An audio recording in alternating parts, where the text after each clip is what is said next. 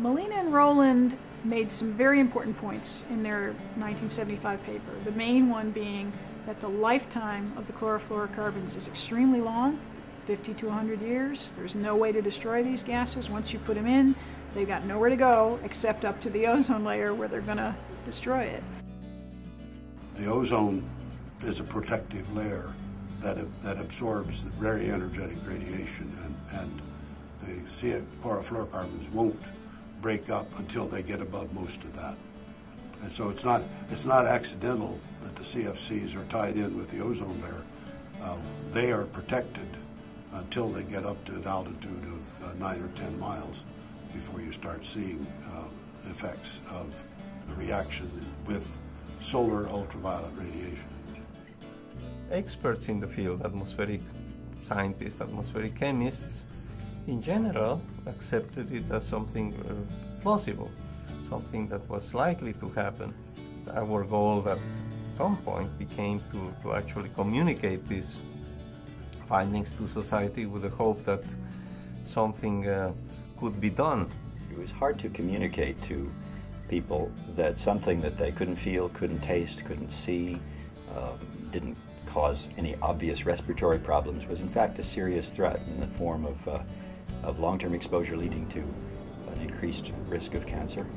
A problem that, uh, had it been allowed to languish and grow, would have created more health problems. Soon after I arrived in NASA, I was asked to sort of take over the management of a US led assessment of ozone depletion. It was mandated by Congress that every two years NASA had to write a state of the ozone layer. What seemed logical to me is if we're going to negotiate an international treaty on stratospheric ozone depletion, there needed to be one uh, international assessment where the scientists around the world spoke with one voice. And so during that period, 1980 1985, I worked with the scientific community to get together a true international assessment that could be the, the basis basis for informed international negotiations.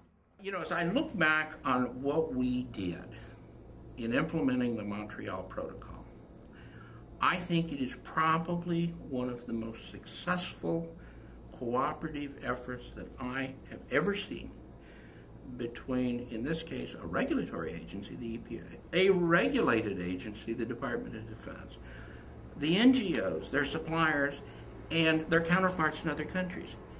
And the fact of the matter is, it worked. It was incredibly successful.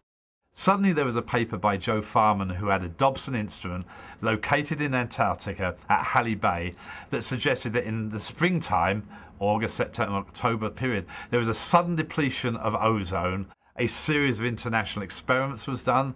The biggest one was in 1987, where there were some ground based observations, two very well equipped aircraft, uh, a DC 8 and an ER 2, and some satellite observations. And it became very, very clear very quickly we humans were having a direct effect that was unambiguous on the ozone layer. I have to say, it was tremendously exciting to go to Antarctica.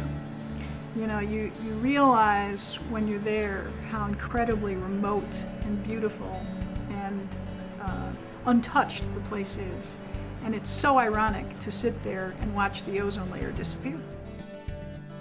Well, I think the key development in industry was when the DuPont company, which was the major U.S. manufacturer of chlorofluorocarbons, an $800 million revenue item, by the way, for them, when they concluded that the scientists were right. The Montreal Protocol was signed in September of 1987.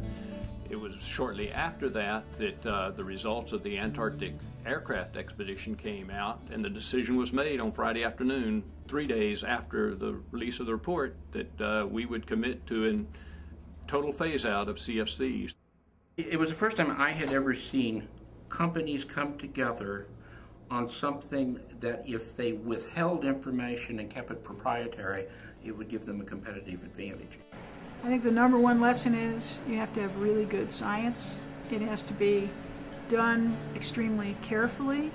It has to be verified by multiple sets of observations and by multiple different uh, models. We need to have coordinated research globally and international assessments so that the scientific community talks with one voice to the international negotiators. Because of the spirit of cooperation with the government setting standards that were challenging yet flexible, allowed industry to innovate, industry came forward, and uh, everyone worked together to make this happen. I think the, um, the intersection of science and public policy is a lesson there. Science really drove that. Science is what made me confident that the public policy position I was advocating was sound, was supportable, was going to be important to the future. We have a substantial scientific establishment, and uh, they were right on this issue, it turns out.